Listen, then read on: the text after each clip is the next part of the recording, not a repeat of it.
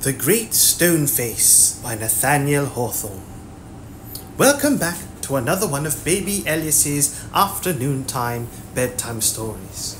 The Great Stone Face, 1850, is a wonderful legend about the man of the mountain in the White Mountains of New Hampshire. It's still there waiting for a person to be born who embodies its spirit. Are you ready to begin, Baby Elias? The Great Stone Face by Nathaniel Hawthorne. One afternoon, when the sun was going down, a mother and her little boy sat at the door of their cottage, talking about the Great Stone Face. They had but to lift their eyes, and there it was, plainly to be seen, though miles away, with the sunshine brightening all its features. And what was the great stone face? Embosomed amongst a family of lofty mountains, there was a valley so spacious that it contained many thousand inhabitants. Some of these good people dwelt in log huts with the black forest all around them. On the steep and difficult hillsides, others had their homes in comfortable farmhouses and cultivated the rich soil on the gentle slopes or level surfaces of the valley. Others again were congregated into populous villages where some wild highland rivulet, tumbling down from its birthplace in an upper mountain region, had been caught and tamed by human cunning, and compelled to turn the machinery of cotton factories. The inhabitants of this valley, in short, were numerous, and of many modes of life, but all of them grown people and children had a kind of familiarity with the great stone face. Although some possess the gift of distinguishing this grand natural phenomenon more perfectly than many of their neighbors.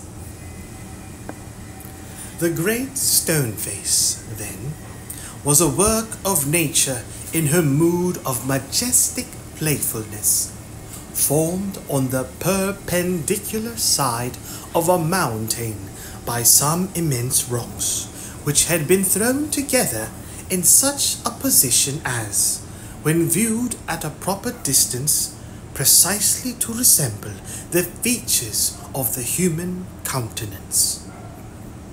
It seemed as if an enormous giant or titan had sculptured his own likeness on the precipice.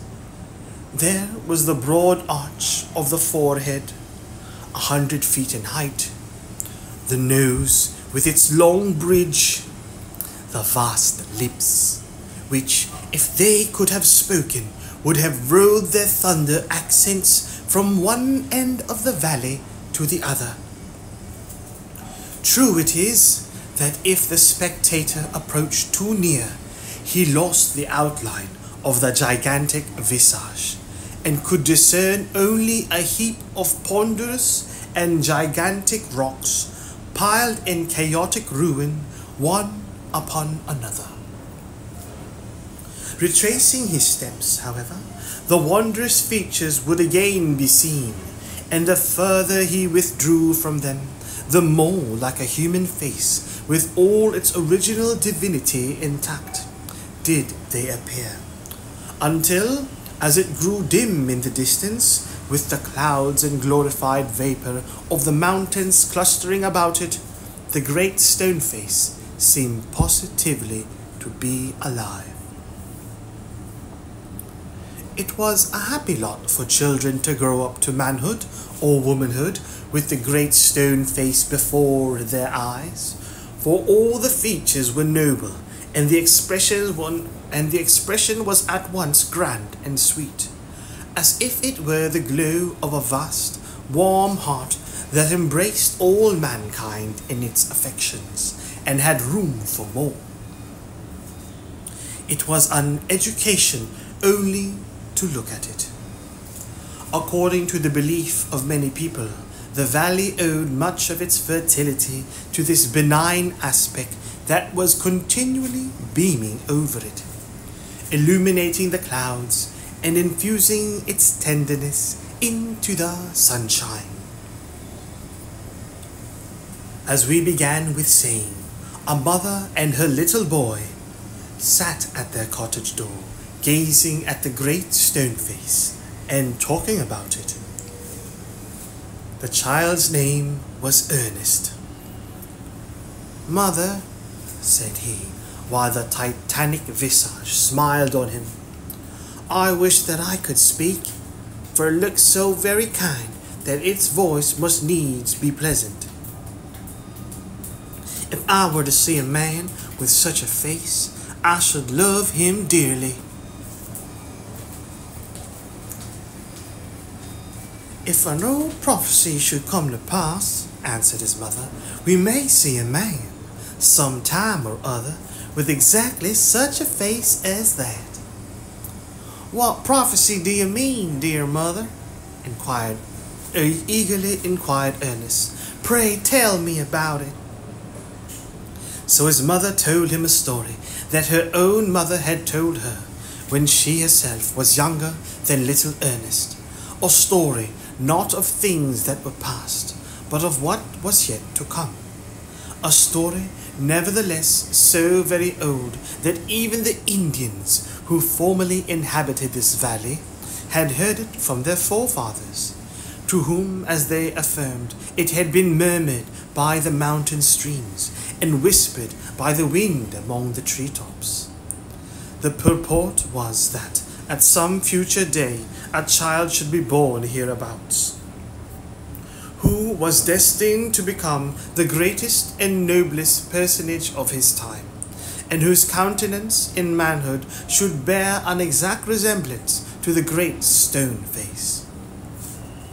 Not a few old fashioned people and young ones likewise, in the ardour of their hopes, still cherished an enduring faith in this old prophecy.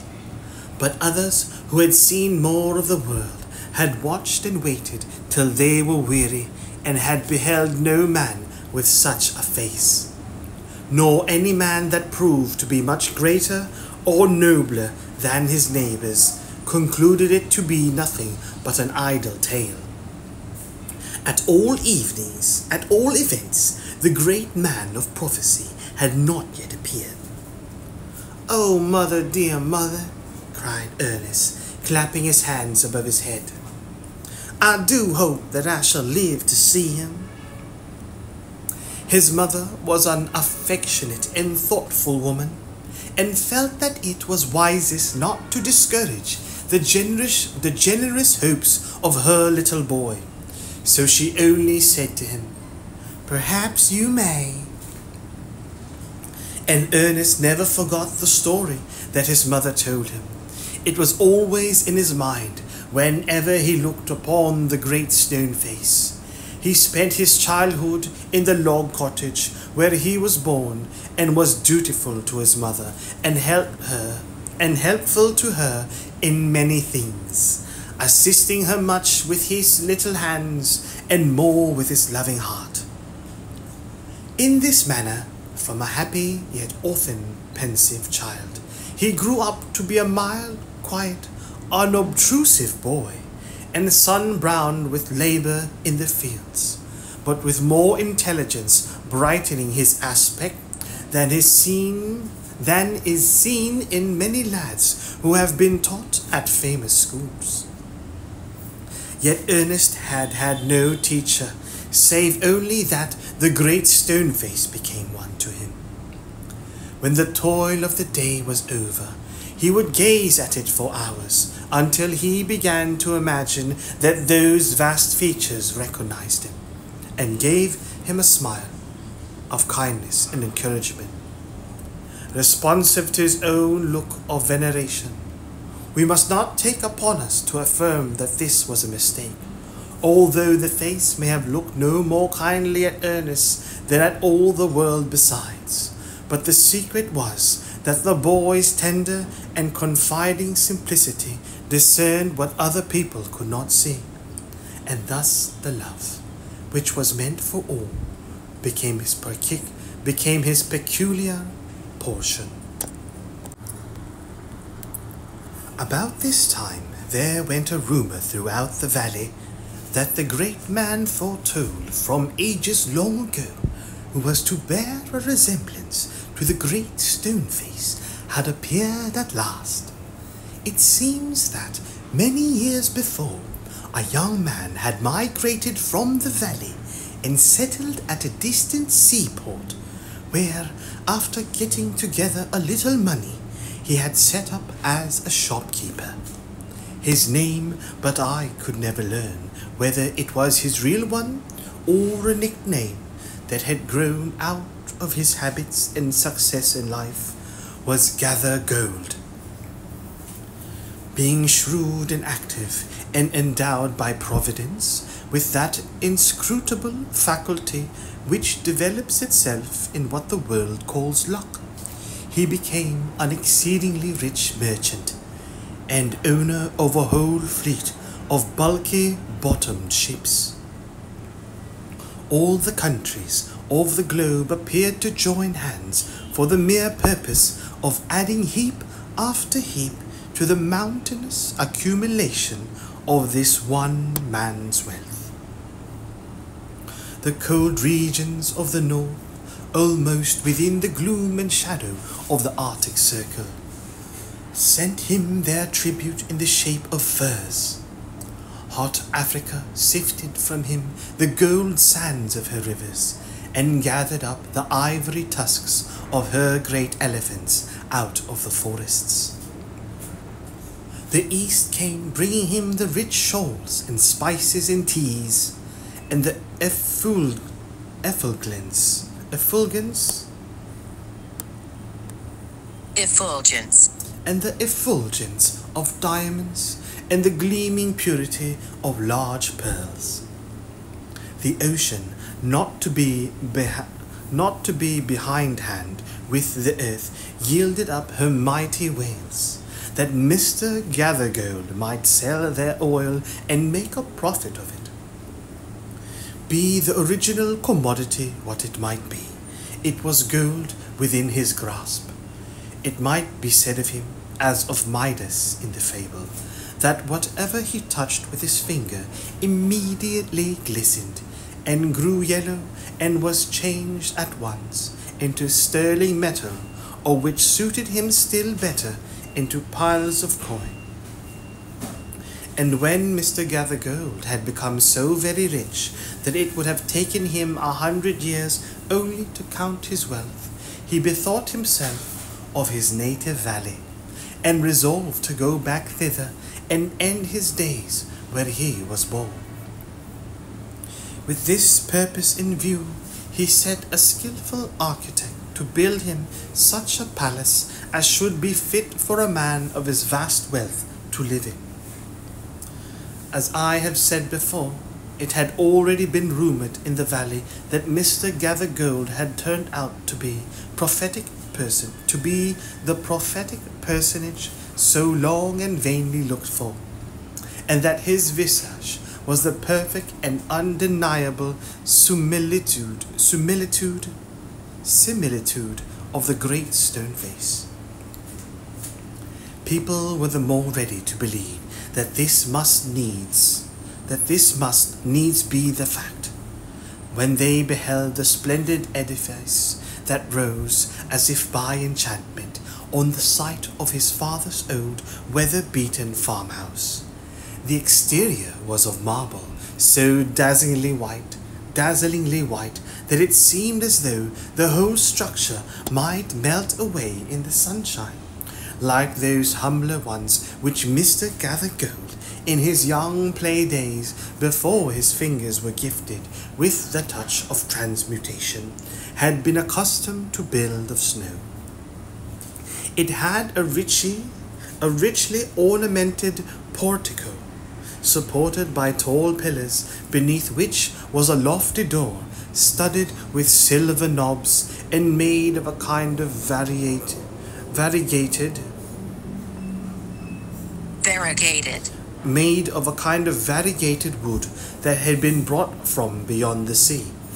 The windows from the floor to the ceiling of each stately apartment were composed, respectively, of but one enormous pane of glass, so transparently pure that it was said to be a finer medium than even the vacant atmosphere. Hardly anybody had been permitted to see the interior of this palace, but it was reported, and with good semblance of truth, to be far more gorgeous than the outside, insomuch that whatever was iron or brass in other houses was silver or gold in this.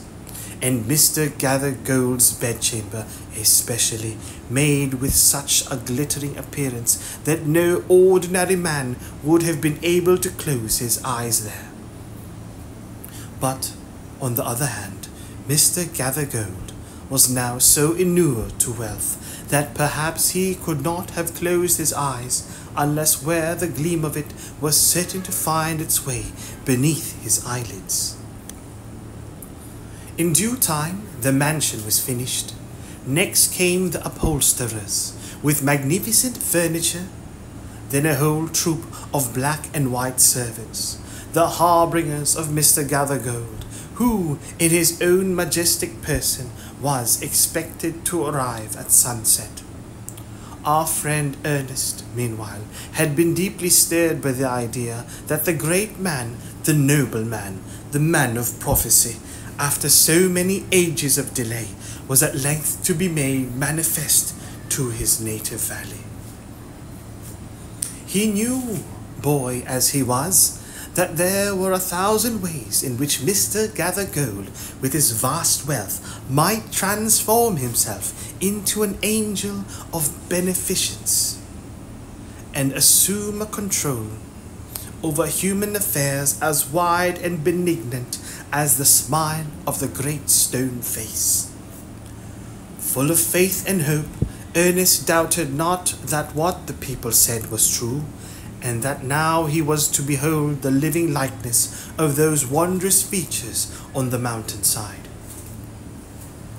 While the boy was still gazing up the valley and fancying, as he always did, that the great stone face returned his gaze and looked kindly at him, the rumbling of wheels was heard, approaching swiftly along the winding road. Here he comes, cried a group of people who were assembled to witness the arrival. Here comes the great Mr. Gathergold. A carriage, drawn by four horses, dashed round the turn of the road. Within it, thrust partly out of the window, appeared the physiognomy, Physiognomy. physiognomy of the old man, with a skin as yellow as if his own Midas hand had transmuted it. He had a low forehead, small, sharp eyes, puckered about with innumerable wrinkles, and very thin lips, which he made still thinner by pressing them forcibly together. The very image of the great stone face, shouted the people. Sure enough, the old prophecy is true. And here we have the great man come at last. And what greatly perplexed Ernest, they seemed actually to believe that here was the likeness which they spoke of. By the roadside there chanced to be an old beggar woman and two little beggar children, stragglers from some far off region, who, as the carriage rolled onward, held out their hands and lifted up their doleful voices, most piteously, piteously beseeching charity. A, a yellow claw, the very same that had clawed together so much wealth, poked itself out of the coach window and dropped some copper coins upon the ground, so that, though the great man's name seems to have been Gathergold, he might just as suitably have been nicknamed Scattercopper.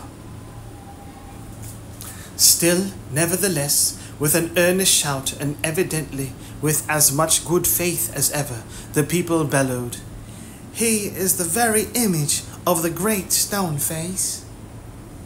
But Ernest turned sadly from the wrinkled shrewdness of that sordid visage, and gazed up the valley, where amid a gathering mist, gilded by the last sunbeams, he could still distinguish those glorious features which had impressed themselves into his soul. Their aspect cheered him. What did the benign lips seem to say? He will come. Fear not, Ernest. The man will come. The years went on, and Ernest ceased to be a boy. He had grown to be a young man now. He attracted little notice from the other inhabitants of the valley, for they saw nothing remarkable in his way of life save that, when the labour of the day was over, he still loved to go apart and gaze and meditate upon the great stone face. According to their idea of the matter, it was a folly indeed, but pardonably, inasmuch as Ernest, Ernest was industri- industrious, as much inasmuch as Ernest was industrious, industrious, kind, and neighborly, and neglected no duty for the sake of indulging this idle habit. They knew not that the great stone face had become a teacher to him, and that the sentiment which was expressed in it would enlarge the young man's heart and fill it with wider and deeper sympathies than other hearts. They knew not that thence would come a better wisdom than could be learned from books, and a better life than could be moulded on the defaced example of other human lives. Neither did Ernest know that the thoughts and affections which came to him so naturally in the fields and at the fireside, and wherever he communed with himself, were of a higher tone than those which all men shared with him. A simple soul, simple as when his mother first taught him the old prophecy. He beheld the marvellous features beaming adown the valley, and still wondered that their human counterpart was so long in making his appearance. By this time, poor Mr. Gathergold was dead and buried, and the oddest and the oddest part of the matter was that his wealth, which was the body and spirit of his existence, had disappeared before his death, leaving nothing of him but a living skeleton covered over with a wrinkled yellow skin. Since the melting away of his gold, it had been very generally conceded that there was no such striking resemblance, after all, betwixt the ignoble features of the ruined merchant and that majestic face upon the mountain side. So the people ceased to honor him during his lifetime, and quietly consigned him to forgetfulness after his decease.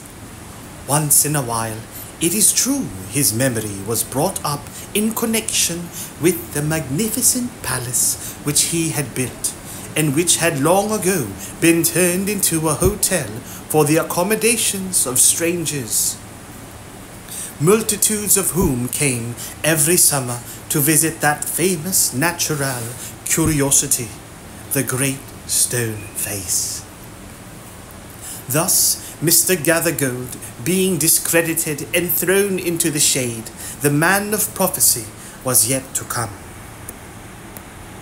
It so happened that a native born it so happened that a native born son of the valley, many years before, had enlisted as a soldier, and after a great deal of hard fighting, had now become an illustrious commander whatever he may be called in history. He was where he was known in camps and on the battlefield under the nickname of Old Blood and Thunder. This war-worn veteran, being now infirm with age and wounds, and weary of the turmoil of a military life, and of the roll of the drum and the clangor of the trumpet that had so long been ringing in his ears, had lately signified a purpose of returning to his native valley, hoping to find repose where he remembered to have left it.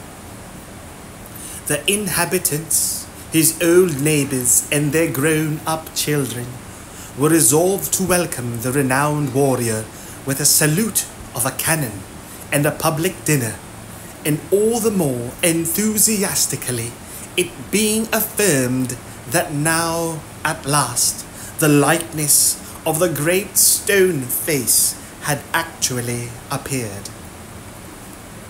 An aide de camp of old blood and thunder, travelling through the valley, was said to have been struck with the resemblance. Moreover, the schoolmates and early acquaintances of the general were ready to testify on oath that, to the best of their recollection, the aforesaid general had been exceedingly like the majestic image. Even when a boy, only the idea had never occurred to them at that period. Great, therefore, was the excitement throughout the valley, and many people who had never once thought of glancing at the great stone face for years before now spent their time in gazing at it, for the sake of knowing exactly how General Blood and Thunder looked.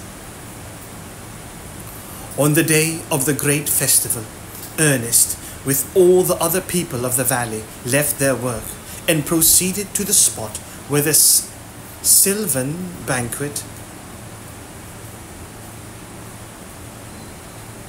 Sylvan. where the Sylvan banquet was prepared. As he approached, the loud voice of the Reverend Dr. Battleblast was heard, beseeching a blessing on the good things set before them, and on the distinguished friend of peace in whose order they were assembled. The stables were arranged in a cleared space of the woods, shut in by the surrounding trees, except where a vista opened eastward and afforded a distant view of the great stone face. Over the general's chair, which was a relic from the home of Washington, there was an arch of verdant boughs, with the laurel profusely intermixed and surmounted by his country's banner, beneath which he had won his victories. Our friend Ernest raised himself on his tiptoes in hopes to get a glimpse of the celebrated guest. But there was a mighty crowd about the tables, anxious to hear the toasts and speeches, and to catch any word that might fall from the general in reply. And a volunteer company, doing duty as a guard, pricked ruthlessly with their bayonets at any particularly quiet person among the throng. At per- and a volunteer company, doing duty as a guard, pricked ruthlessly with their bayonets at any particularly quiet person among the throng. So Ernest, being of un of an unobs- unobtrusive character, was quite was thrust quite into the background, where he could see no more of old blood and thunder's physiognomy. Physiognomy. physiognomy than if it had been still blazing on the battlefield. To console himself, he turned towards the great stone face, which, like a faithful and long remembered friend, looked back and smiled upon him through the vista of the forest. Meantime, however, he could overhear the remarks of various individuals who were comparing the features of the hero with the face on the distant mountainside. Tis the same face to a hair, cried one man, cutting a caper for joy. Wonderfully like, that's a fact, responded another.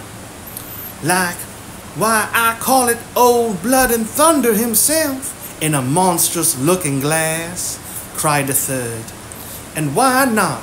He's the greatest man of this or any other age beyond a doubt. And then all three of the speakers gave a great shout which communicated electricity to the crowd and called forth a roar from a thousand voices that went reverberating for miles among the mountains, until you might have supposed that the great stone face had poured its thunder breath into the cry. All these comments and this vast enthusiasm served the more to interest our friend, nor did he think of questioning that now, at length, the mountain visage had found its human counterpart. It is true, Ernest had imagined that this long looked for personage would appear in the character of a man of peace, uttering wisdom and doing good and making people happy but taking an habitual breadth of view with all his simplicity, he contended that Providence should choose its own method of blessing mankind, and could conceive that this great end might be effected even by a warrior aimed a bloody sword, should inscrutable wisdom see fit to order matters so. The general, the general, was now the cry. Hush! Silence! Oh, Blood and Thunder's going to make a speech. Even so, for the cloth being removed, the general's health had been drunk, amid shouts of applause, and he now stood upon his feet to thank the company. Ernest saw him. There he was, over the shoulders of the crowd. From the two glittering ep- epaulets Epaulets.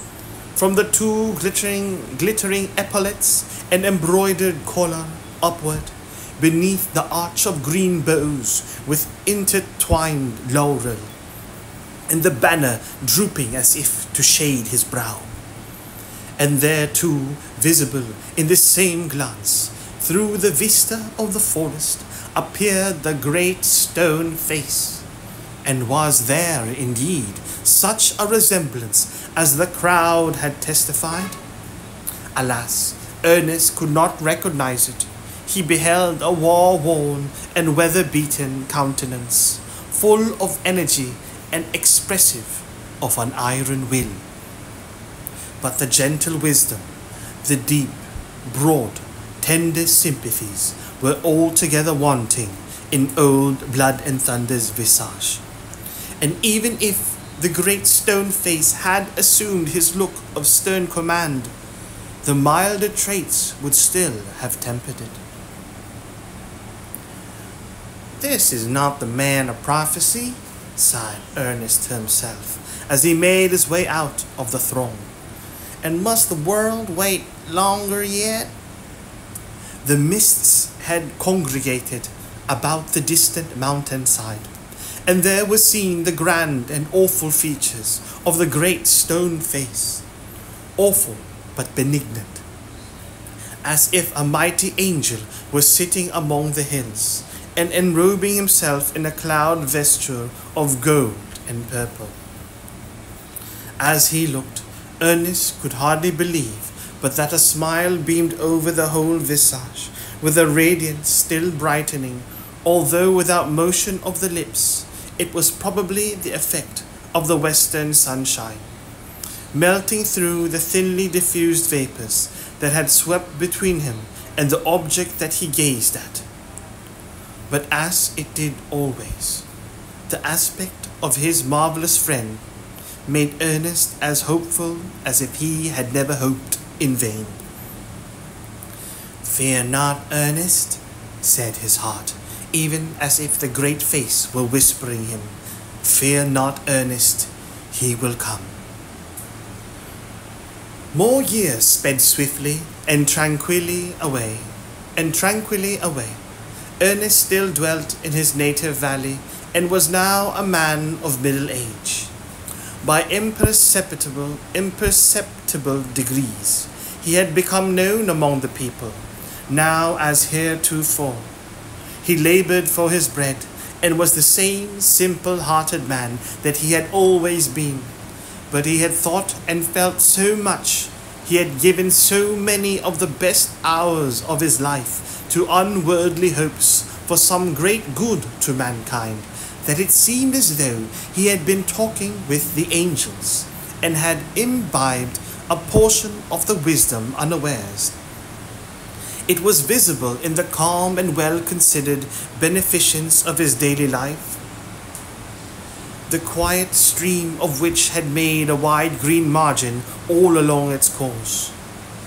Not a day passed by that the world was not the better because this man, humble as he was, had lived. He never stepped aside from his own path, yet would always reach a blessing to his neighbor.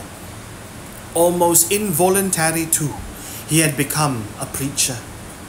The pure and high simplicity of his thought, which, as one of its manifestations, took shape in the good deeds that dropped silently from his hand, flowed also forth in speech. He uttered truths that wrought upon and molded the lives of those who heard him.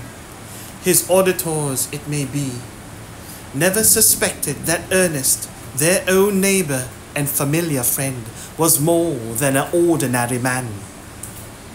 Least of all did Ernest himself suspect it, but inevitably, as the murmur of a rivulet, came thoughts out of his mouth that no other human lips had spoken. When the people's minds had had a little time to cool, they were ready enough to acknowledge their mistake in imagining a similarity between the general blood and thunder's truculent physiognomy and the benign visage on the mountainside. But now, again, there were reports and many paragraphs in the newspapers affirming that the likeness of the great stone face had appeared upon the broad shoulders of a certain eminent statesman. He, like Mr. Gathergold an Old Blood and Thunder, was a native of the valley, but had left it in his early days and taken up the trades of law and politics, instead of the rich man's wealth and the warrior's sword. He had but a tongue, and it was mightier than both together. So wonderfully eloquent was he that whatever he might choose to say, his auditors had no choice but to believe him. Wrong looked like wrong looked like right, and right like wrong. For when it pleased him, he could make a kind of illuminated fog with his mere breath, and obscure the natural daylight with it. His tongue indeed was a magic instrument. Sometimes it rumbled like the thunder, sometimes it warbled, warbled like the sweetest music. It was the blast of war, the song of peace, and it seemed to have a heart in it, when there was no such matter. In good truth, he was a wondrous man, and when his tongue had acquired him all other imaginable success, when it had been heard in halls of state and in the courts of princes and potentates, potentates, potentates, Potentates. and potentates, after it had made him known all over the world, even as a voice crying from shore to shore, it finally persuaded his countrymen to select him for the presidency. Before this time, indeed, as soon as he began to grow celebrated, his admirers had found out the resemblance between him and the great stone face, and so much were they struck by it that throughout the country this distinguished gentleman was known by the name of Old Stony Phiz. The phrase was considered as giving a highly favorable aspect to his political prospects. For, as is likewise the case with the popedom, nobody ever becomes president without taking a name other than his own. When his friends were doing their best to make him president, Old Stony Phiz, as he was called, set out on a visit to the valley where he was born. Of course, he had no other object than to shake hands with his fellow citizens, and neither thought nor cared about any effect which his progress which his progress through the country might have upon the election. Magnificent preparations were made to receive the illustrious statesman. a cavalcade, cavalcade of horsemen set forth to meet him at the boundary line of the state, and all the people left their business and gathered along the wayside to see him pass. Among these was Ernest. Though more than once disappointed, as we have seen, he had such a hopeful and confiding nature that he was always ready to believe in whatever seemed beautiful and good. He kept his heart continually open and thus was sure to catch the blessing from on high when it should come. So now again, as buoyantly as ever, he went forth to behold the likeness of the great stone face. The cavalcade came prancing along the road with a great clattering of hoofs and a mighty cloud of dust, which rose up so dense and high that the visage of the mountainside was completely hidden from Ernest's eye.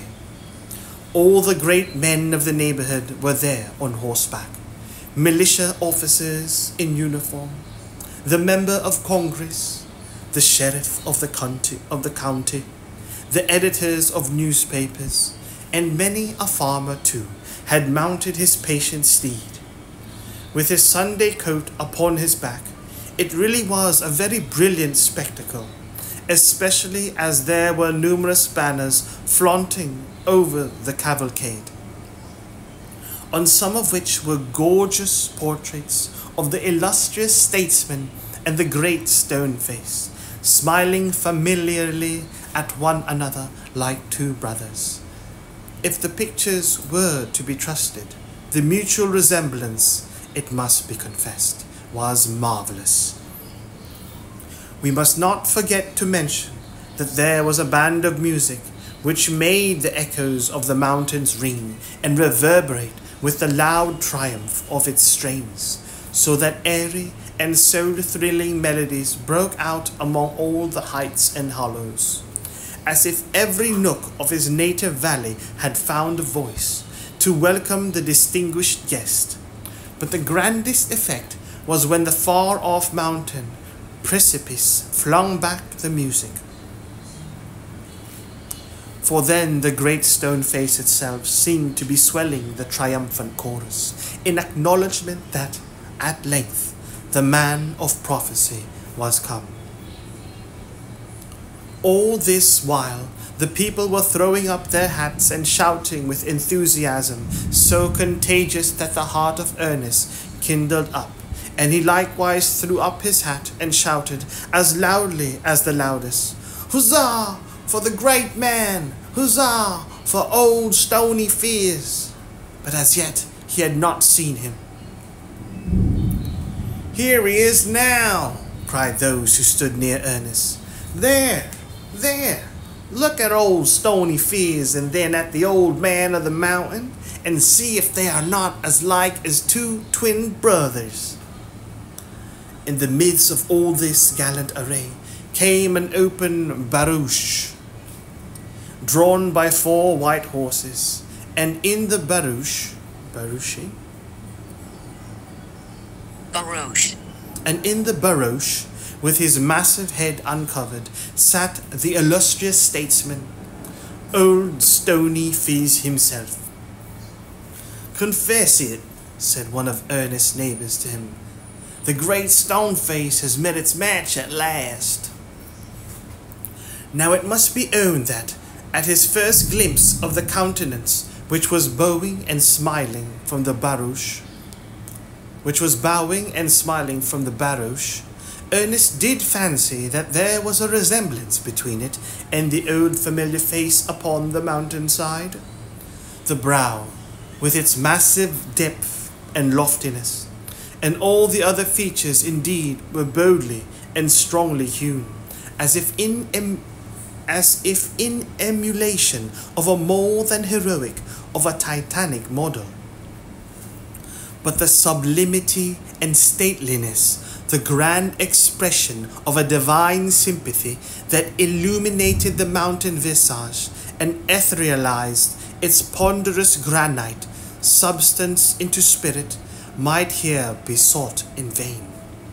Something had been originally something had been originally left out or had departed, and therefore the marvelously gifted statesman had always a weary gloom in the deep caverns of his eyes, as of a child that has outgrown its playthings, or a man of mighty faculties, and the little aims whose life, with all its high performances, was vague and empty, because no high purpose had endowed it with reality.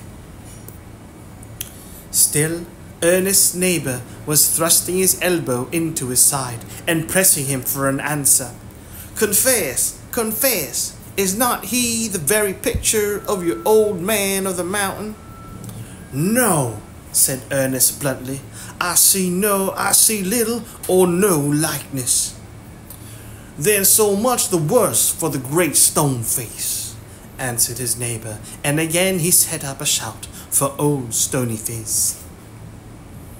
But Ernest turned away, melancholy and almost despondent, for this was the saddest of his disappointments, to behold a man who might have fulfilled the prophecy and had not willed to do so. Meantime, the cavalcade, the banners, the music, and the barouches swept past him with the vo- vociferous crowd. Vociferous. with the vociferous crowd in the rear, leaving the dust to settle down and the great stone face to be revealed again, with the grandeur that it had worn for untold centuries. Lo, here I am, Ernest, the benign lips seemed to say. I have waited thou longer than thou, and I am not yet weary. Fear not, the man will come.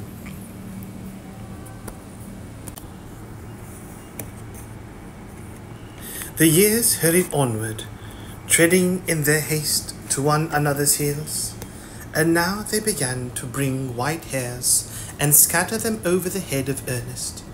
They made reverent wrinkles across his forehead and furrows in his cheeks. He was an aged man, but not in vain had he grown old. More than the white hairs on his head were the sage thoughts in his mind. His wrinkles and furrows were inscriptions that time had graved, and in which he had written legends of wisdom that had been tested by the tenor of a life. And Ernest had ceased to be obscure. Unsought for, undesired, had come the fame which so many seek, and made him known in the great world beyond the limits of the valley in which he had dwelt so quietly. College professors and even the active men of cities came from far to see and converse with Ernest. For the report had gone abroad that this simple husbandman had ideas unlike those of other men, not gained from books, but of a higher tone, a tranquil and familiar majesty, as if he had been talking with the angels as his daily friends. Whether it was sage, statesman, or philanthropist, Ernest received these visitors with the gentle sincerity that had characterized him from boyhood, and spoke freely with them of whatever came uppermost, or lay deepest in his heart or their own. While they talked together, his face would kindle, unawares, and shine upon them as with a mild evening light. Pensive with the fullness of such discourse, his guests took leave and went their way, and passing up the valley, paused to look at the great stone face, imagining that they had seen its likeness in a human countenance, but could not remember where. While Ernest had been growing up and growing old, a bountiful providence had granted a new poet to this earth.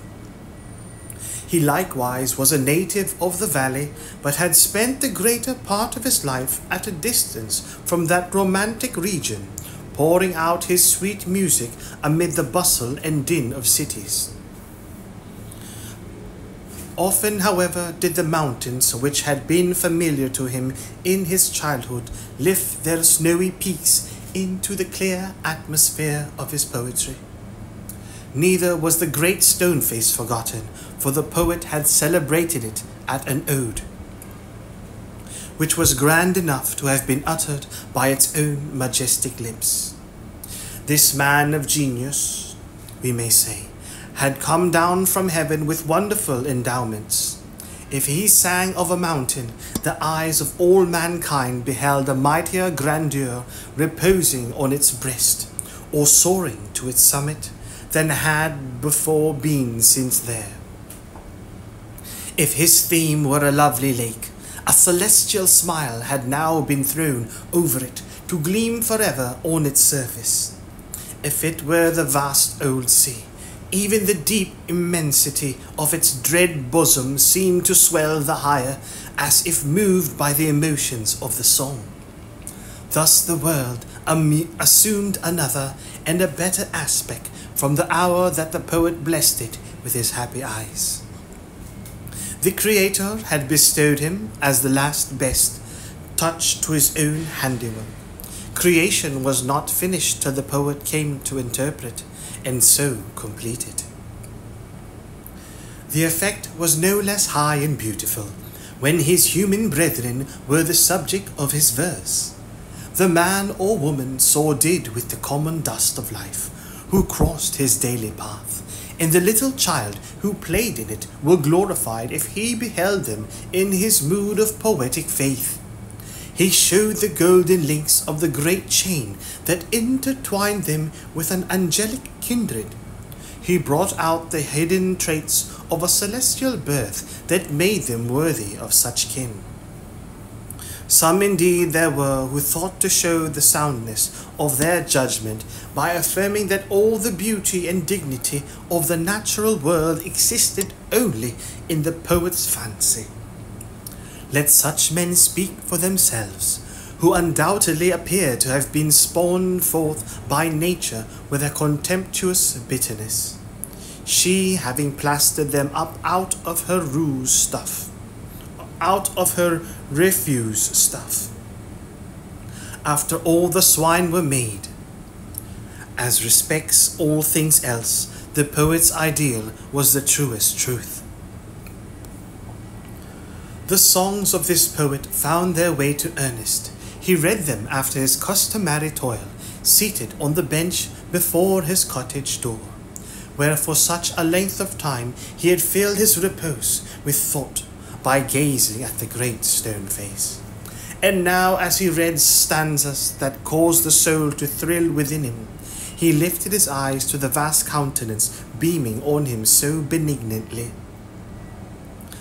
Oh, majestic friend, he murmured, addressing the great stone face, is not this man worthy to resemble thee?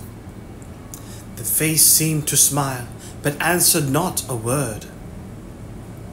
Now it happened that the poet, though he dwelt so far away, had not only heard of Ernest, but had meditated much upon his character, until he deemed nothing so desirable as to meet this man, whose untaught wisdom walked hand in hand with the noble simplicity of his life. One summer morning, therefore, he took passage by the railroad, and in the decline of the afternoon alighted from the cars at no great distance from Ernest's cottage. The great hotel, which had formerly been the palace of Mr. Gathergold, was close at hand, but the poet, with his carpet bag on his arm, inquired at once where Ernest dwelt, and was resolved to be accepted as his guest. Approaching the door, he there found the good old man, holding a volume in his hand, which alternately he read, and then with a finger between the leaves looked lovingly at the great stone face. Good evening, said the poet. Can you give a traveller a night's lodging? Willingly, answered Ernest, and then he added, smiling, Methinks I never saw the great stone face look so hospitably at a stranger. The poet sat down on the bench beside him, and he and Ernest talked together. Often had the poet held intercourse with the wittiest and the wisest, but never before with a man like Ernest, whose thoughts and feelings gushed up with such a natural freedom, and who made great truths so familiar by his simple utterance of them. Angels, as be angels, as had been so often said, seemed to have wrought with him at his labor in the fields. Angels seemed to have sat with him by the fireside, and dwelling with angels as friends with friends, he had imbibed the sublimity of their ideas, and imbued it with the sweet and lowly charm of household words. So thought the poet, and Ernest, on the other hand, was moved and agitated by the living images which the poet flung out of his mind and which people all the air about the cottage door with shapes of beauty both gay and pensive. the sympathies of these two men instructed them with a profound sense that either could have attained alone. Their minds accorded into one strain and made delightful music which neither of them could have claimed as all his own, nor distinguished his own share from the others. They led one another, as it were, into a high pavilion of their thoughts, so remote and hitherto so dim that they had never entered it before, and so beautiful and so beautiful that they desired to be there always. As Ernest listened to the poet, he imagined that the great stone face was bending forward to listen too. He gazed earnestly into the poet's glowing eyes. Who are you, my strangely gifted guest? he said. The poet laid his finger on the volume that Ernest had been reading. you have read these poems, said he. You know me then, for I wrote them. Again, and still more earnestly than before, Ernest examined the poet's features, then turned towards the great stone face, then back with an uncertain aspect to his guest. But his countenance fell, he shook his head and sighed. Wherefore are you sad? inquired the poet. Because, replied Ernest, all through life I have awaited the fulfillment of a prophecy. And when I read these poems, I hoped that it might be fulfilled in you. You hoped? answered the poet, faintly smiling. To find in me the likeness of the great stone face, and you are disappointed, as formerly with Mr. Gathergold, and Old Blood and Thunder, and Old Stony Phiz. Yes, Ernest, it is my doom. You must add my name to the illustrious, to the illustrious three, and record another failure of your hopes. For in shame and sadness do I speak it. Ernest, I am not worthy to be typified by yonder benign and majestic image. And why? asked Ernest. He pointed to the volume. Are not these thoughts divine? They have a strain of divinity, replied the poet. You can hear him, you can hear in them the far off echo of a heavenly song. But my life, dear Ernest, has not corresponded with my thought. I have had grand dreams, but they have been only dreams because I have lived, and that too by my own choice, among poor and mean realities.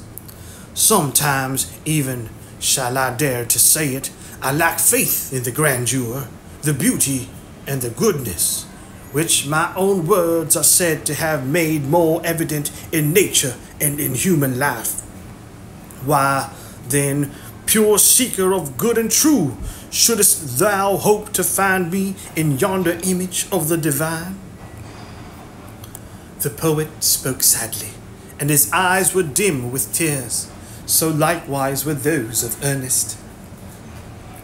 At the hour of sunset, as had long been his frequent custom, Ernest was to discourse to an assemblage of the neighboring inhabitants in the open air.